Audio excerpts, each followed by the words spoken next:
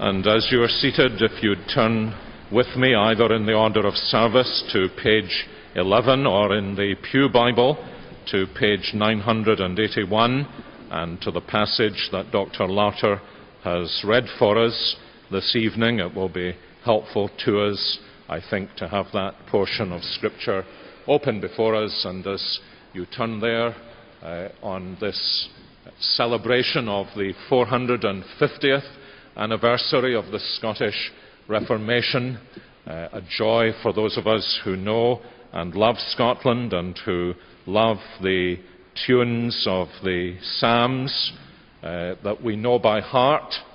Uh, most of us in Scotland can't read music, and so our hymn books don't have music, but we know the words of the Psalms and we know the tunes from time immemorial. And it would be difficult, I think, for you to have a sense of how uh, deeply our worship this evening touches something in a Scotsman. And I want to thank my friend Dr. Paul Jones for all his labours in preparing for our service this evening. 450 years. The work of God in 1560 in the writing of the Scots Confession. But like so many of the works of God, the work of God often begins before it becomes publicly noticeable. And exactly the same was true of the Scottish Reformation. It was, in a very special way, not only a reformation, it was a season of extraordinary spiritual revival. And as is often the case, spiritual revival has deep roots. When John Knox, who spent about ten years compiling a history of the origins of the Reformation, tried to explain what it was exactly that had happened, he put it like this God gave his Holy Spirit to ordinary men in extraordinary measure. And what he wanted to emphasize was that the work of Reformation was not merely an external clearing away of religious rubble, but was a work of God in which men and women and boys and girls were wonderfully and in extraordinary numbers brought to a living faith in the Saviour, Jesus Christ. Another way in which these Scottish reformers liked to understand what God had done in those days was that by His Spirit, in His Word, they had rediscovered the gospel of the Apostle Paul. And they understood that in so many important ways, the gospel had actually reached Scotland, indeed reached so many parts of Europe, because God had humbled and subdued and converted Saul of Tarsus. And so, as they rediscovered the gospel of Paul, they were not surprised also to discover that the ways of Jesus Christ with Saul of Tarsus had been reduplicated in some of those who were so significant in bringing the gospel again to Scotland 450 years ago. When John Knox actually traces the deep origins of the Reformation at the beginning of those years, he draws special attention to a young man by the name of Patrick Hamilton. Patrick Hamilton lived for 24 years, but John Knox believed that it was through what God had done in that young man's life that he had begun a work that was irreversible in the 16th century in the gospel coming to an entire nation. And we read from Philippians chapter 3 this evening because there are actually so many parallels in the life of Patrick Hamilton, that early Scottish reformer, and the life of Saul of Tarsus. And the reformers, as I say, recognize that although there are different individuals in different times, there are often these same footprints of God's grace working in the lives of those that he signally used. What I want us to think about for a little while this evening is those parallel lines of God's work of saving grace and transforming power in two individuals so far apart in history, but brought so close together by the working of God's Holy Spirit. And in some ways, in their respective societies, so similar to one another. In Philippians chapter 3, as we've already seen in our reading, the Apostle Paul describes what he was by nature. And he tells us in Philippians 3 3 and 4 that he was a young man with an impeccable pedigree. He lists the details of that. He was a true Jew, circumcised on the eighth day. He didn't belong to half caste Jewry being born a Jew, but uh, being born as a Greek speaker rather than a Hebrew speaker. He was a Hebrew speaker of Hebrew speaking parents. He was committed to the strict way of the Pharisees. And he tells us that as far as righteousness according to the law was concerned, he was absolutely blameless. There was, in fact, he tells us in his letters, there was no one with the kind of pedigree that Saul of Tarsus had. The same could have been said in the early years of the 16th century about Patrick Hamilton. He was descended from King James II. He belonged to the most significant family, perhaps, in all Scottish history. If you look at the great volumes of the Dictionary of National Biography for the United Kingdom, you will find about a hundred pages of Hamiltons, the single most distinguished family outside of the royal family in all of Scottish history until this point. A man with an extraordinary brilliance of education, a little like Saul of Tarsus. And a man who had studied as Saul of Tarsus tells us he had done under the great scholars of his day. In the case of Saul of Tarsus, the great Gamaliel. In the case of Patrick Hamilton, the best scholars of Scotland and the finest scholars of Europe. All of that he had by nature, this glorious pedigree. And yet, like Saul of Tarsus, Christ brought him to a day where he was able to say, All of these things I count as rubbish by comparison with the excellence of knowing Jesus Christ as my Lord. So they were men who shared a marvelous pedigree by nature. They were also men who discovered deep sinfulness in their hearts. That may seem to be a surprising thing to say about Saul of Tarsus because he says in this passage that as to the law, he was blameless. That was his perception on his past life. No blame, no special accountability to God no sense of inferiority with others who sought to be obedient to God's commandments. Actually, the Gospel writers tell us that Paul had a predecessor in that, a young man who came to Jesus to ask him what he had to do to inherit eternal life. And Jesus told him to keep the commandments, and he said, as Saul said about himself, All of these commandments, sir, I have kept from my youth upwards.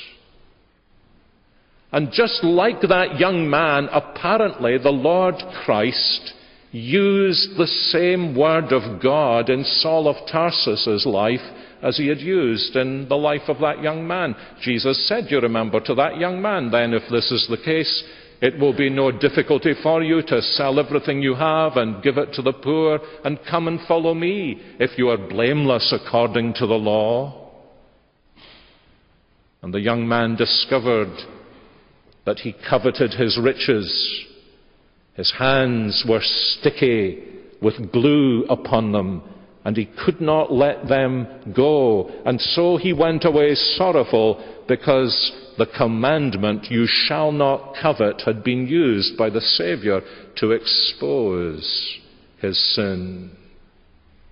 And fascinatingly, the Apostle Paul tells us, doesn't he, in Romans chapter 7, as he looks back on his life, he says, Once I felt myself to be alive, but then the law came, and sin revived, and I died. And he goes on to explain exactly what he means by saying, when the law came, he says, so interestingly, the law said, You shall not covet. And I discovered that there was covetousness in my heart, and sin revived, and I died, and saw my need of God's saving grace. I think the New Testament gives us little hints as to how that happened in the life of Saul of Tarsus. Do you remember how he says at the beginning of his letter to the Galatians that he outstripped all of his generation in religious zeal. There was no one to match him. But then, in an interesting way, before Saul of Tarsus actually appears on the scene in the New Testament scriptures, in the fifth chapter of the Acts of the Apostles, another young man appears. His name is Stephen. And we're told that he was full of grace and power and did wonders and signs. And then we are told this. This is, I think, one of the great clues to the conversion of Saul of Tarsus. Listen to this. Some of those who belonged to the synagogue of the freedmen, as it was called, and of the Cyrenians and of the Alexandrians, and of those from Cilicia and Asia rose up and disputed with Stephen, but they could not withstand the wisdom and the spirit with which he was speaking. Now, those little details are very striking, aren't they? Why should Luke include those details? My friends, it was because Saul of Tarsus probably belonged to the synagogue to which those from Tarsus in Cilicia regularly went. And that clue is opened up in the verses that follow as we discover that Saul was actually among those who accused Stephen and then finally stoned Stephen to death. He was the chief witness there. He approved of his death. And then in a rage he went off to persecute the church. Why did he do that? Answer, perhaps, you may think, because he was a Pharisee. And that's the kind of thing Pharisees didn't. But Pharisees didn't customarily do that. The man who had been Saul of Tarsus's respected professor, Gamaliel, had said, Let's not persecute them. Let's see if this is from God, and if it's from God, it will succeed, and if it's from man, it will fall to the ground. It wasn't because Saul of Tarsus was a Pharisee that he was enraged. I think these clues are embedded in the Acts of the Apostles because they explain why Paul later says of himself in Romans chapter 7 the law said, You shall not covet. And for the first time in his life, this young man who had been able to say that he stood head and shoulders above all of his generation religiously found himself shrinking in the presence of a young man whose graces and gifts and understanding of the Scripture, and even the grace and glory that shone through his face, because sometimes his face looked as though it was the face of an angel. And I rather suspect, although I'm not sure it can be demonstrated, that that was the instrument that caused such rage against Christ in Saul of Tarsus. Many of us here in this room have seen that and wondered why it is that some are so angry against us and against the Lord Jesus who did them no harm. And the answer, of course, is because they're being convicted of their sin and of their need. And in a similar way, we find this dear young man, Patrick Hamilton, at one point in his life, describing something of his own experience as God began to speak to him. And he puts it like this The law of God said, Pay your debt. And then I discovered that the gospel says, Christ has paid it all. The law says you're a sinner, despair of yourself, you will be damned, but the gospel says your sins may be forgiven, be of good comfort, you will be saved. The law says make amends for your sins. That's the first thing the awakened sinner tries to do. I'll make amends for my sins. The gospel says Christ has made amends for your sins. The law says the Father in heaven is angry with you. The gospel says Christ has pacified him with his blood. The law says, What is your righteousness, goodness, and satisfaction? The gospel says Christ will be your righteousness, goodness, and satisfaction. The law says you are bound to oblige me. But the gospel says Christ has delivered me. And so, wrote Patrick Hamilton, the law was silenced and the gospel prevailed. And this helpless prisoner saw the great iron gate opened in front of him by a nail pierced hand. And then there's a third thing Paul speaks about here that certainly was true of Patrick Hamilton. Great pedigree by nature discovered sin in his heart, and then came by faith to find all the riches of God's grace poured out upon him in Jesus Christ. And so says the Apostle Paul, I want to be found in Christ, not having a righteousness of my own that comes from the law, but that righteousness before God that comes through faith in Jesus Christ. Patrick Hamilton, similarly, as a youngster, scarcely out of his teenage years, giving himself in faith to Jesus Christ when few around him were doing so. His family anxious and alarmed at what has happened to this young man, in danger of being disinherited, as the Apostle Paul seems to suggest in this chapter. He actually was disinherited losing all things for the sake and cause of Jesus Christ.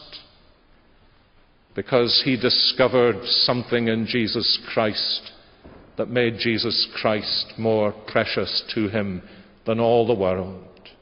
He discovered, as he says here, this simple formula and equation that Christ minus everything is still everything. And everything minus Christ is at the end of the day absolutely nothing. And so, by God's grace, found himself in Jesus Christ. Patrick Hamilton really did count Jesus Christ worthy of the loss of everything. And so, in his early 20s, he was brought to trial before five bishops of the Roman Church.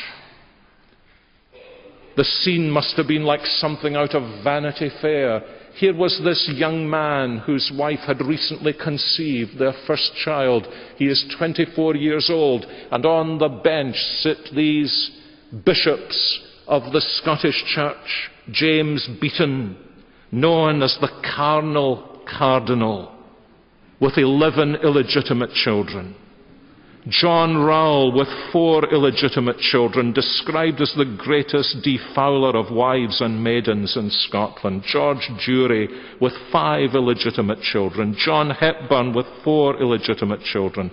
Patrick Hepburn, with 15 illegitimate children.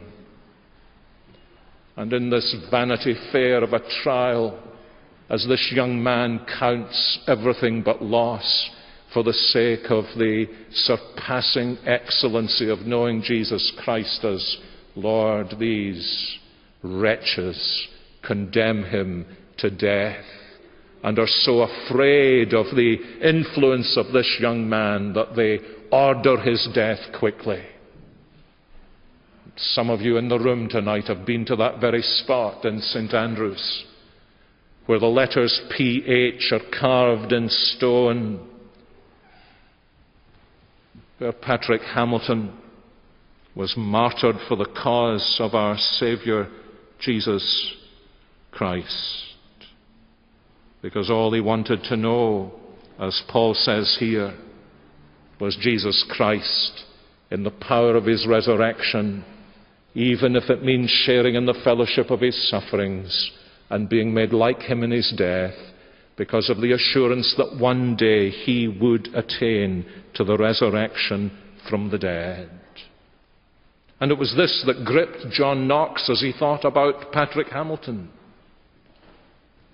It was this that gripped the Apostle Paul as he thought about the martyr Stephen.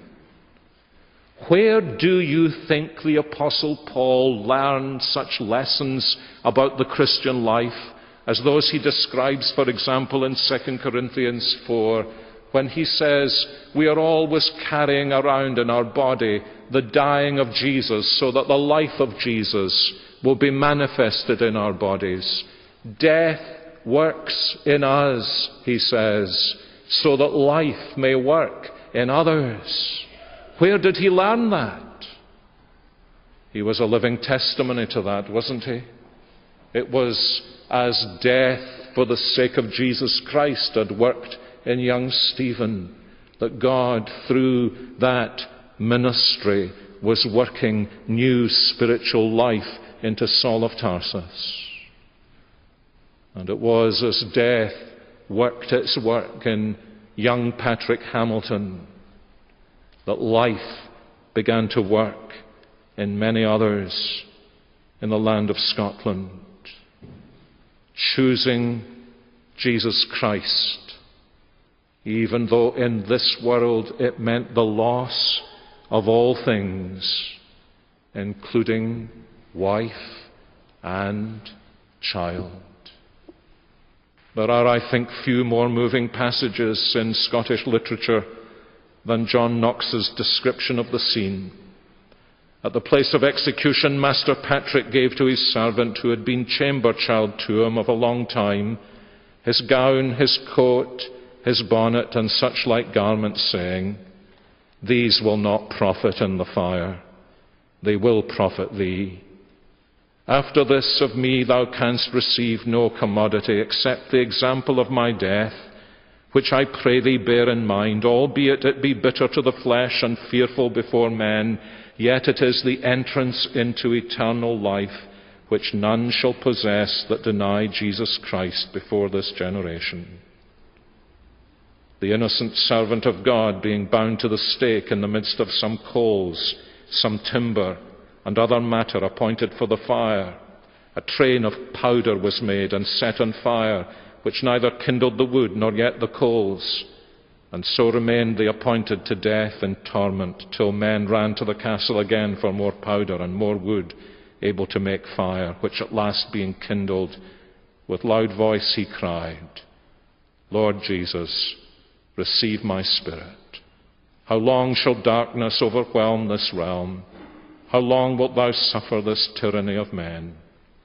The fire was slow, and therefore was his torment the more. But most of all, he was grieved by certain wicked men who continually cried, Convert, heretic! Call upon Our Lady! Say, Salve Regina! Save us, O Queen! To whom he answered, Depart and trouble me not. And because the wind that blew off the sea blew the smell of Hamilton's flesh into the land, one said that the smell of Master Patrick Hamilton infected all those upon whom it blew.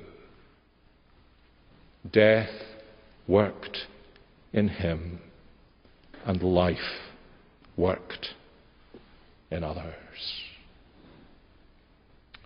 May I draw just a few lessons this evening as I come to a close. The first is this that the work of God never depends on methods, but on men and women.